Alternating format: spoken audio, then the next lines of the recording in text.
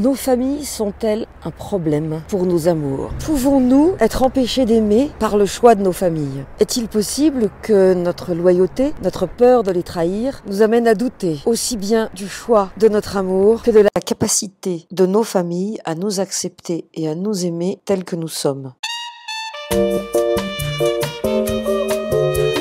Bonjour à toutes et à tous, je suis Bénédicte Anne, votre love coach depuis 2004. J'ai écrit quatre livres qui traitent d'amour et de sabotage. N'oubliez pas de vous abonner à ma chaîne si ça n'est déjà fait. J'accompagne les hommes et les femmes qui souhaitent être heureux en couple à rencontrer directement la bonne personne sans se perdre dans des relations condamnées. Qu'est-ce que c'est qu'une relation condamnée? C'est quelqu'un qui est engagé, quelqu'un qui a d'autres impératifs dans sa vie, quelqu'un qui sort d'une histoire, qui a une maladie, une addiction, qui cherche un punching ball et qui va se servir de vous pour se venger de ce qu'il a vécu. Quelqu'un qui aime toujours une autre personne. Bref, 2022 c'est votre année, comme je vous l'ai déjà dit, et le prochain sera le bon. Pour réussir votre année amoureuse, je vous invite à me rejoindre au webinaire 2022. C'est décidé, j'arrête d'être célib. Un webinaire inédit que j'ai créé pour vous, pour vous permettre d'atteindre vos objectifs et d'être en couple au plus tard à la Saint-Valentin 2023. N'oubliez pas de télécharger ma vidéo privée. Comment savoir si c'est la bonne personne? Vous trouverez le lien ci-dessous. Je suis en Jordanie devant le Karak Castol et je vais partager avec vous mes réflexions sur la religion, la pression familiale et l'amour suite à la rencontre que j'ai faite avec une jeune femme dans l'avion qui était jordanienne, qui avait 20 ans, dont je vais vous parler dans cette vidéo. Alors cette jeune femme, pourquoi est-ce que je vous en parle? Elle a cette particularité de venir d'une famille chrétienne plutôt traditionnaliste, ce qui est assez rare pour la Jordanie. Et ce qui est fou, c'est que le nombre de chrétiens en Jordanie est beaucoup plus faible que celui des maronites par exemple au Liban. Et quand on écoute des émissions qui parlent des chrétiens du Moyen-Orient, ça calme très vite. Et donc j'imagine que comme certaines branches de l'islam, comme certains kurdes, lorsqu'il y a persécution, la pression est plus forte. Elle est amoureuse d'un garçon qui a à peu près son âge, qu'elle a rencontré à la fac. Ça fait deux ans qu'elle sort avec lui. Et lui, il est de père français et de mère éthiopienne. Donc il est noir et musulman par sa mère. Elle rentrait chez ses parents, elle ne leur a bien sûr pas dit qu'elle était avec lui et elle pense qu'ils finiront par l'accepter. Elle a 20 ans, on peut imaginer que avec l'évolution de la société, avec la mondialisation, tout va rentrer dans l'ordre et ses parents se réjouiront sans doute de cette union. Pour autant, dans une famille comme celle du jeune homme de ma voisine d'avion, je pense qu'il n'y aurait pas de problème. Je vous rappelle qu'il y a déjà eu un mariage mixte dans la famille du fiancé. Le contraire est moins évident. Elle est l'aînée, donc plus modèle entre guillemets que si d'autres avaient déjà tracé le chemin pour elle. Ce qui m'a touchée, c'était qu'elle gardait le secret et qu'elle espère que peut-être avec le temps, ses parents finiront par accepter cette relation. C'est amusant parce que ce château est un haut lieu des croisés et on sait ce que les croisés étaient venus faire ici, un sujet qui est toujours d'actualité et c'est là qu'on se rend compte que finalement l'histoire continue et c'est cyclique. Évidemment, là je vous ai parlé des pressions qui sont liées aux religions, à la foi, aux valeurs de la famille. Mais si on regarde bien, ces pressions existent dans de nombreuses familles, même si la religion n'est pas la raison sur laquelle la famille s'arc-boute. Ces pressions existent par exemple lorsqu'il y a un enfant désigné, sacrifié, un enfant unique, ou le dernier, ou un parmi ceux de la fratrie, qui est choisi comme le bâton de vieillesse. Et là, les parents vont, consciemment ou pas, interdire à leur enfant de partir, de se mettre en couple, de faire un métier qui les rendrait trop riches ou trop libres pour les garder près d'eux. Ça arrive dans toutes les familles, quelles que soient leurs obédiences. C'est évidemment plus flagrant dans des familles qui ont fait une grande place à la religion. Et ça crée des enfants amputés, castrés, déchirés, qui viennent me voir parce qu'ils sont coincés dans leur loyauté. Alors on peut appeler ça des loyautés pour bien comprendre le mécanisme. Par loyauté à ma mère qui, pour me donner la vie, a dû subir ta da da da da je me débrouille pour revivre la même situation que ma mère ou pour vivre la même chose qu'elle, version moderne une génération plus tard. En réalité, c'est plus une preuve d'amour qu'une loyauté. Et c'est difficile à intégrer parce que c'est un changement de paradigme total par rapport à tout le travail transgénérationnel. Il s'agit de voir les interdits, les frustrations comme une fidélité et comme une preuve d'amour plutôt que comme la répétition d'un drame, d'une tragédie inéluctable qui s'accompagne d'une lourde dette à payer. Alors si vous avez des soucis en amour, si vous vous posez des questions, si vous avez l'impression que quelque chose bloque, je vous invite à vous demander quel type de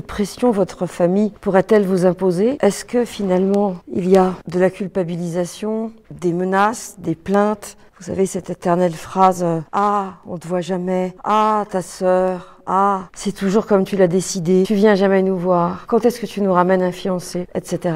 etc. Il y a des pressions officielles avec des phrases qui sont directes, pas forcément très gentilles. Il y a des pressions sournoises où les allusions sont faites, mais rien n'est clairement dit. Et il y a bien sûr l'allusion du non-dit, c'est-à-dire il suffit finalement d'un haussement de sourcil, d'un rictus sur la bouche, d'une bébé grimace, pour que d'un coup, d'un seul, vous vous teniez à carreau, vous compreniez qu'il ne faut pas parler ou il faut pas aborder ce sujet ou ce que vous aviez envie de partager, c'est pas d'actualité. Et ça me fait penser à cette femme qui a une bonne cinquantaine d'années, qui a été abusée par son instituteur lors d'un séjour classe de neige. Et ce qui est très très curieux, c'est que évidemment il parlait d'un secret, évidemment il la rejoignait toutes les nuits. Et ce qui est très curieux donc, c'est qu'elle n'en ait jamais parlé à ses parents. Et ce secret n'est pas son seul secret. Son autre secret, c'était que son frère était homosexuel. Il est décédé récemment d'un AVC. Et en fait, cet homme a caché à ses parents jusqu'au jour de son décès qu'il était homosexuel. Et toute la famille était préservée de ce secret. Et donc cette dame a vécu avec la pression d'un milieu qui détestait l'homosexualité. À l'âge de 10 ans, elle a son propre secret qui est à la mesure de celui de son frère. Et tout ça finit évidemment par un mariage avec un mari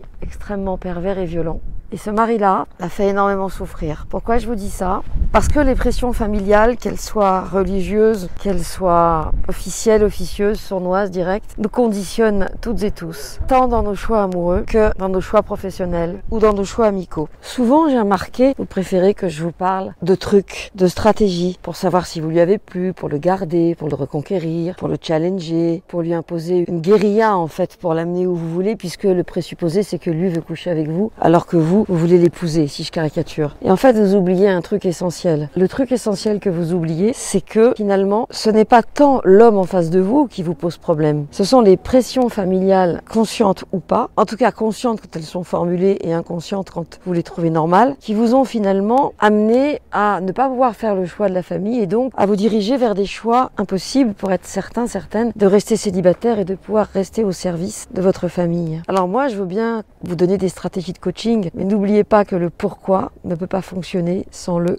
comment. On n'est pas non plus obligé de remonter sur cinq générations, de définir les dettes, les loyautés, les enfermements, les prisons, dorées ou réelles. On n'est pas obligé de passer des heures et des heures, voire des années, à raconter son enfance, mais on ne peut pas faire l'économie du chemin de ceux, de celles en vous qui ont vécu des situations délicates, difficiles, traumatiques, ou tout simplement de soutien et qui ont porté la peine des parents. Ne perdez pas des années en thérapie, ne perdez pas votre temps à faire des week-ends entiers de constellations familiales pour un coup travailler le père, puis la mère, puis le fœtus de la fausse couche de l'arrière-arrière-grand-mère du côté du père. Parce que tout ça, on peut le rencontrer dans une approche transpersonnelle qui va vous amener à laisser s'exprimer ceux qui n'ont pas pu le faire. Dans tous les cas, j'ai toujours considéré que les stages de groupe faisaient beaucoup de bien.